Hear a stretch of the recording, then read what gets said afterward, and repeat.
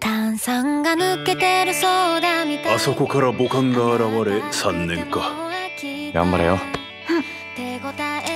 門出のように教師と一発やってみたいだけだと言ってくれれば言ってねえし。バカ。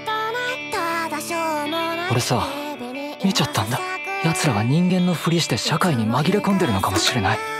私たち大丈夫だよね。あなんだって？なんでもねえよ。そして新たに3名の死亡が確認されました。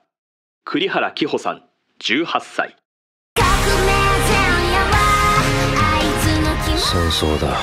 もし何かが起きた時俺たち凡人は受け入れるしかないんだ。その時最後まで希望を失わないためにはどうしたらいいと思う？ね